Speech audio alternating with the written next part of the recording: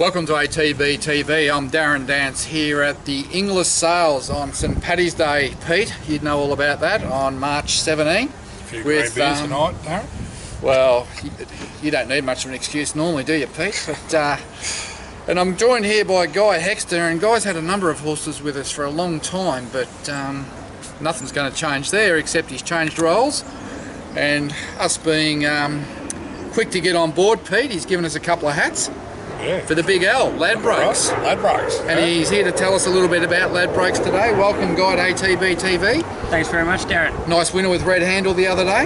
Yeah, it was terrific. We had a bit of a panic early when she was out the back, but came home nicely to get the chocolates. I watched it with you, and I think I said on the corner, can't win. I think we said after the first 200, can't win. Did you get a boost on the corner? Boost the odds? Should have been 100 to 1. anyway, we can win with Ladbrokes, and uh, we're going to look after our punters, Guy. And without giving too much away, what can you tell us? Oh, it's certainly really exciting to uh, join forces with ATB.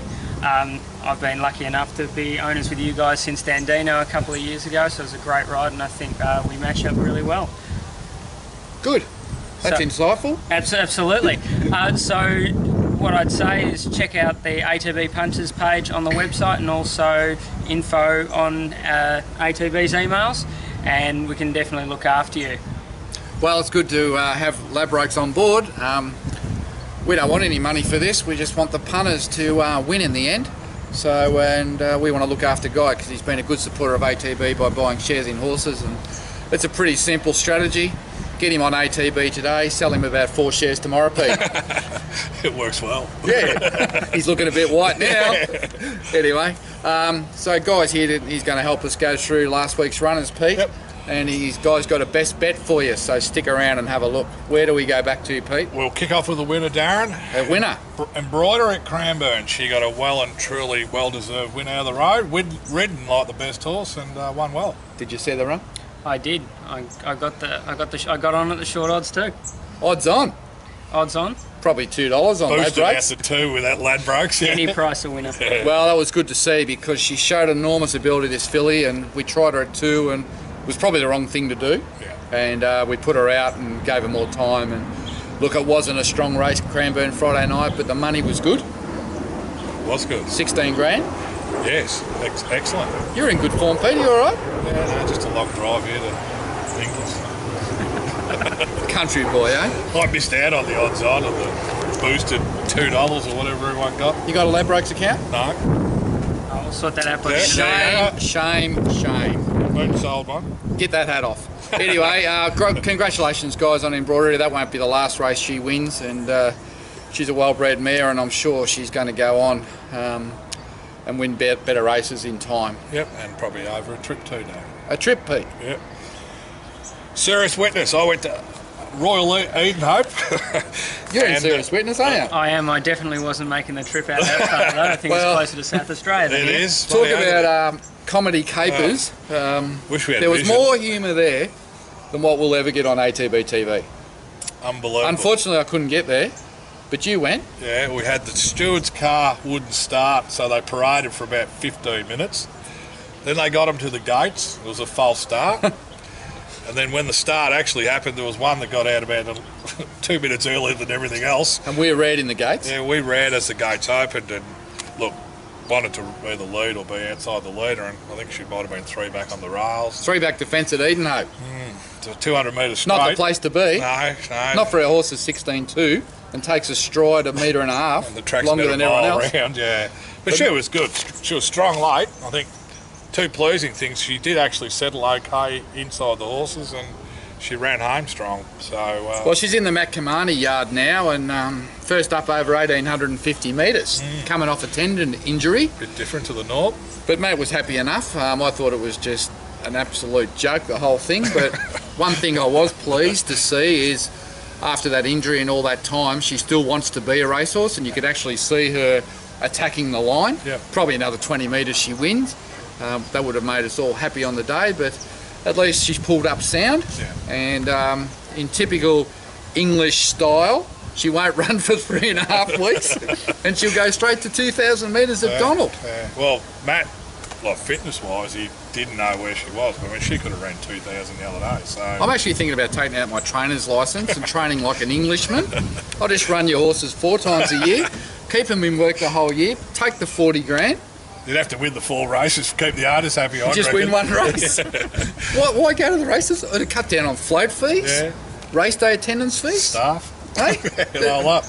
we've got it all wrong. Anyway, he's done a good job with it. You like him, don't you? Yeah, no, good, good to work with, mate. And um, A lot of the owners like him, he just thinks, especially the females. yeah, yeah. No comment. Beck like him. I don't know if she's even knows who he is. Just trying to dig a hole for you, yeah, Pete. no, and All I- right, let's move on. But not yeah, let's go to Donald in a few weeks and watch Serious Witness win. Yep. Uh, we went to Mildura on nothing on nothing else on Saturday. Went to Mildura. Did We- ya? No, I didn't. You I didn't told me either. not to go. We had a cup winner. We Rod did. won first, and he smashed him. Did you see it? I did. Did you back it? I didn't get on it, unfortunately. But What I, to pay? Oh, you probably could have got three bucks. I'm not Three sure. But bucks. it started shorter. Yeah. Two forty, wasn't it? Yeah. One of D. Yendall's specials. Just Five Mildura Cups in a row. not bad, is it? Hey, what are the other bad. jockeys doing? not turning up. He's got links on him. I don't what at they keep- Mildura. It's a long way from home. Well, it was a bloody long way, but I tell you what, it was really exciting. Yeah. And um, I took a photo of Liz and Christina Jeffrey having a champagne, and someone photoshopped it with the cup in the front. Did you see that? No. Did you do that? No, I got the photo of the cup sent to me, but I never did the photo. Someone photoshopped it, and everyone's texting Liz saying, "Well done. How, when are you coming home from Mildura?" we weren't even there. But gee, it was a good win. Congratulations to the Dro family. Um, obviously, together we raced the mare.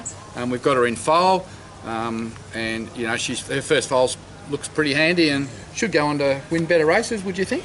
Oh, absolutely. A mare that likes to sit on the pace like that and can finish off. Um, she, Yeah.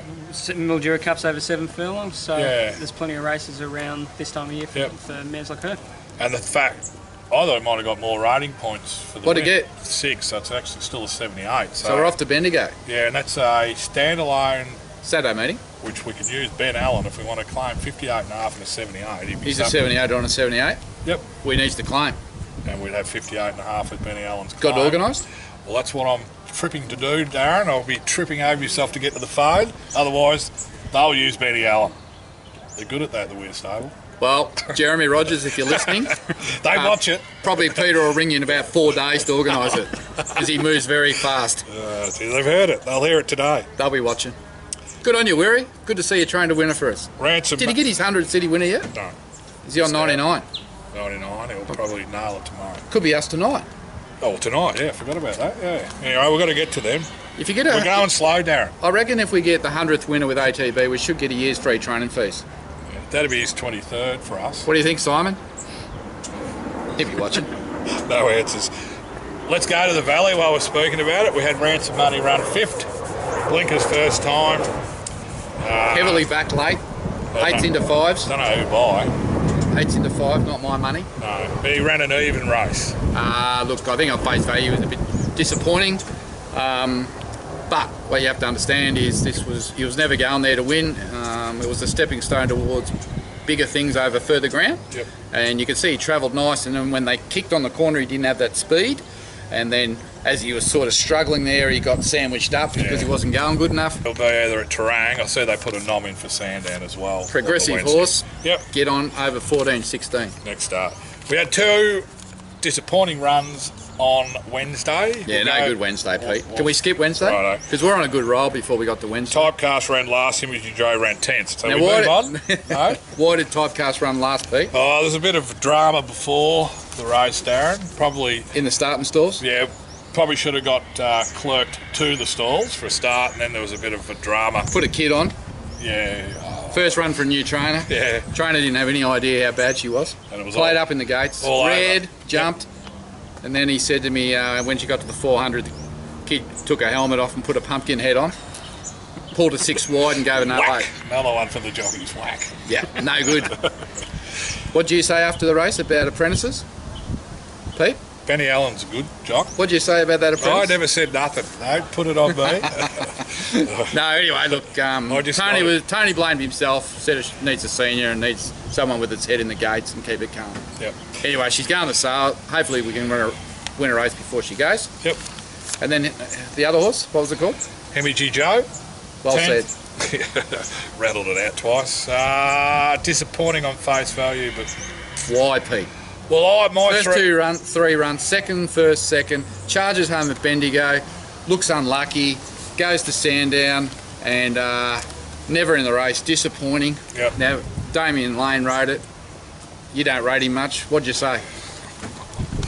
Here we go again. My three points. Inside probably didn't suit. Up in trip and up in class. And the three times she has ran well, she's come around them. Maybe ridden a fraction close. Back Uh, to the bush.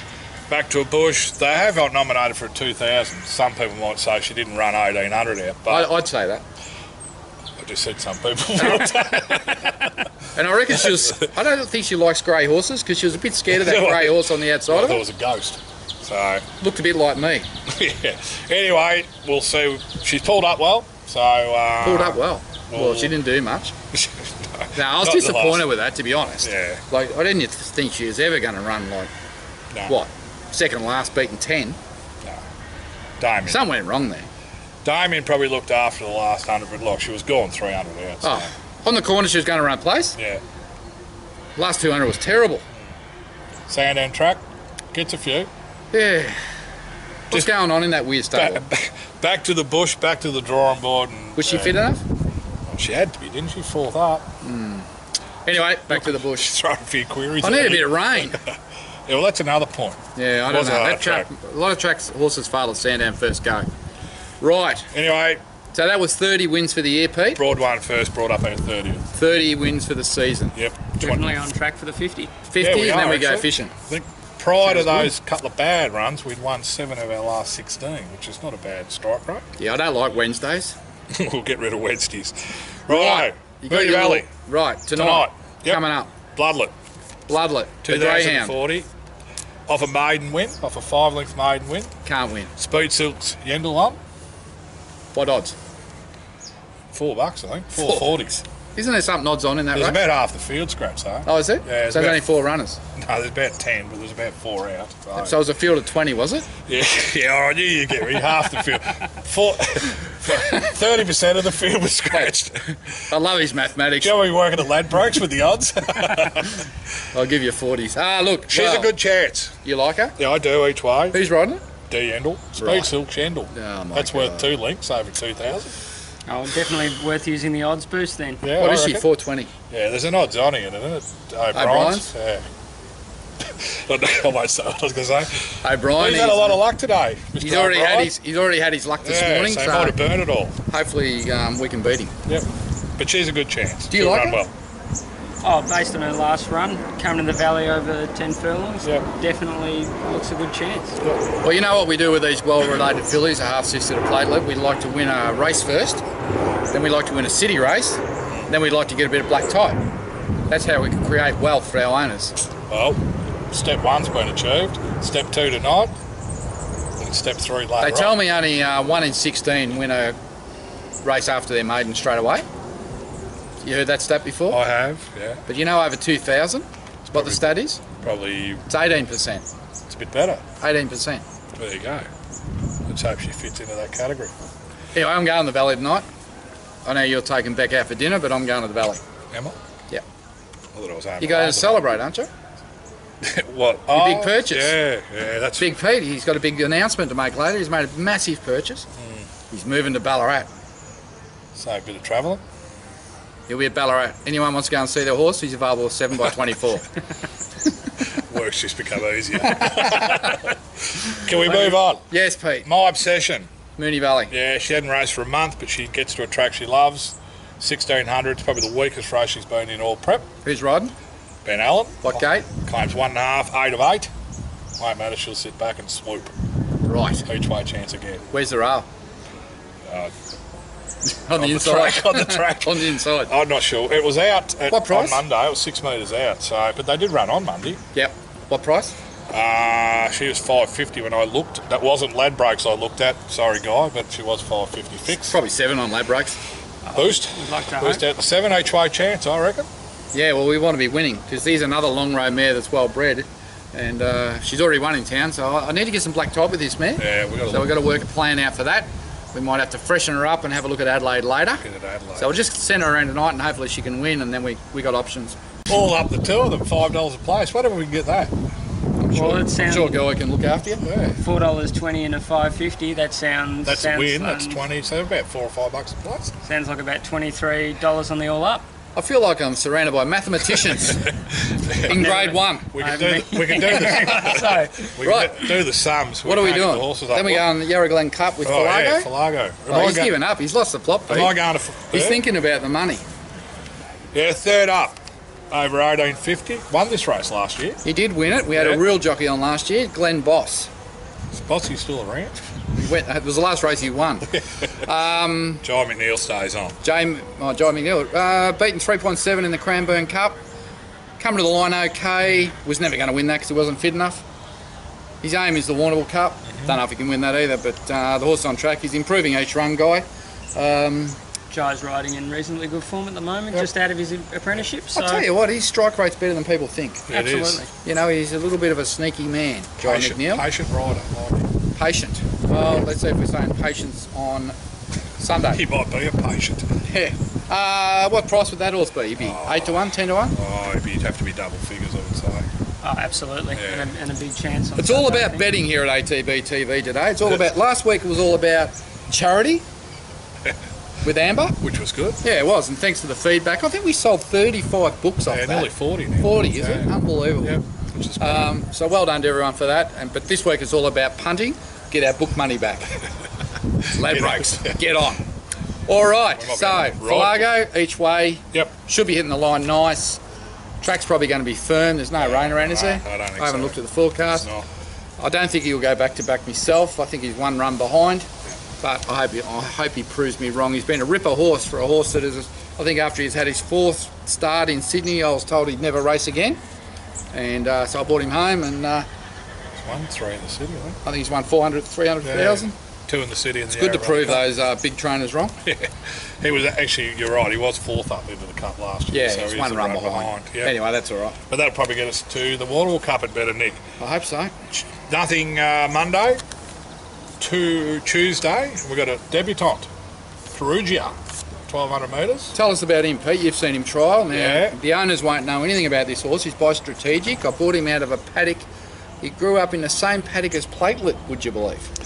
Yeah, well, Up in the middle of nowhere. It's a very lucky paddock. yeah, Has been. Absolutely. So, you've watched his trials. yeah. You know more about this horse than probably anyone else. Well, Jack Hill knows a bit more about him than me because he got bucked off last prep.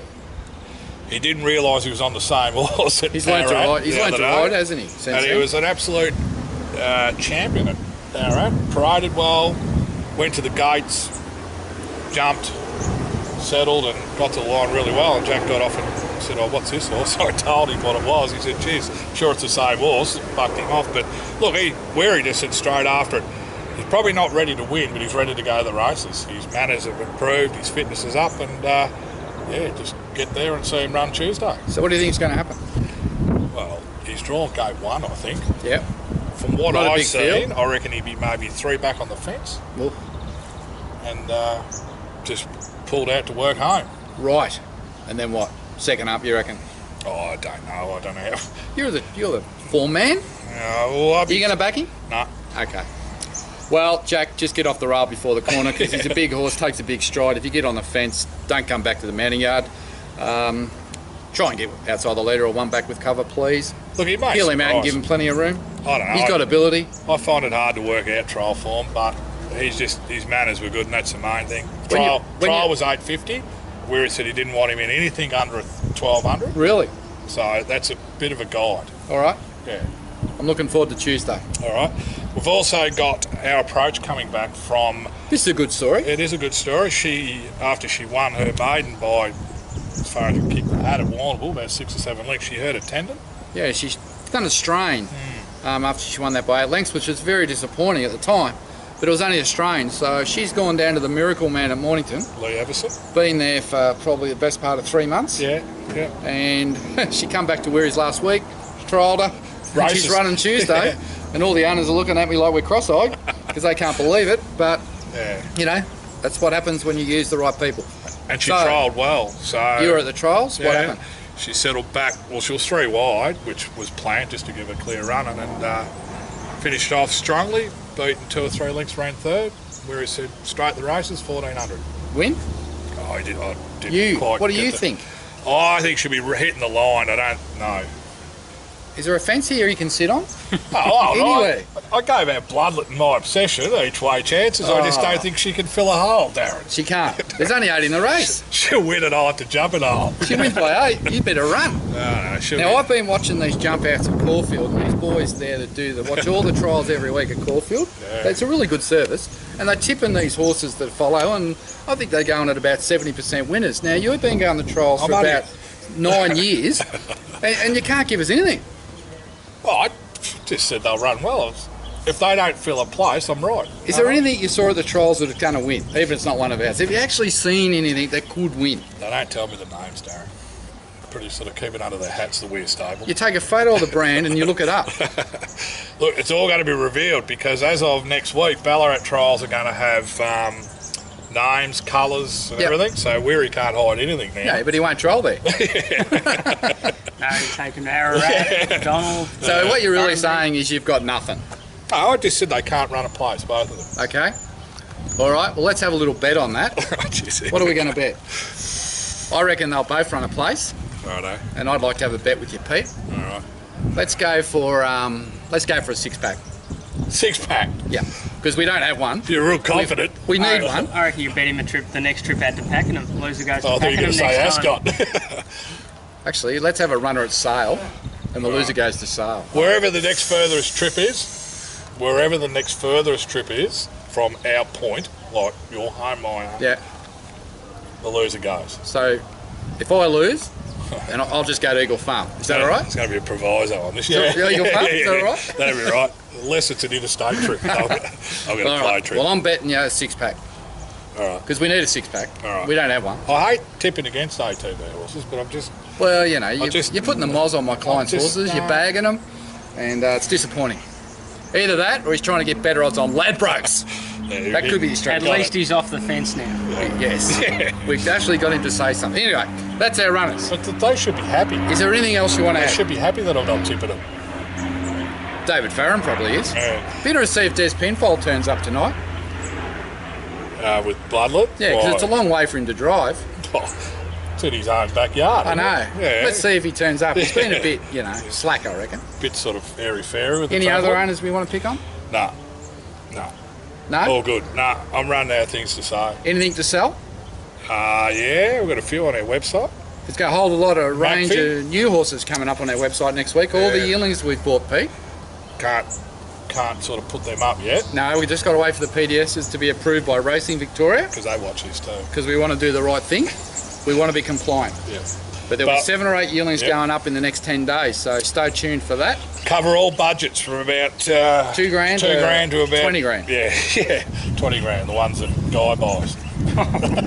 Oh, I love Ladbrokes. now he's on the big bucks. Yeah. And then we got Dubai coming up, Heartbreak City. Heartbreak City in the Gold Cup. Yep. Had Tony Martin on the phone the other night. Fairly bullish.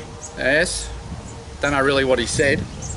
but it's something about he thinks he can win. Uh, that'd be great.